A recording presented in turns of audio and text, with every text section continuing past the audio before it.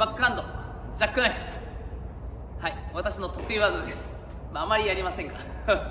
はい、えー、準備をね少し高めにあの低く準備するとそこから叩くの難しいので少しこう高めに、えー、準備して大体目線の高さぐらいで捉えます。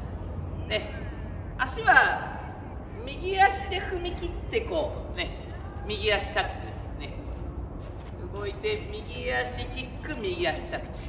で、まあ、こっちの動きはね右は結構簡単なんです。左です。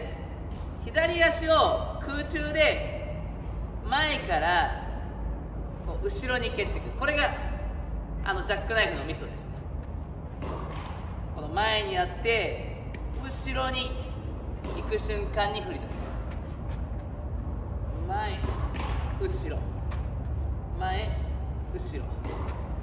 前後ろね、えー、この動き高めに準備しといて前後ろで、えー、入っていて、まあ、あまり体がね開いていかないようにこうね、えー、やっていくという形になります。じゃあもう一度打っていきます。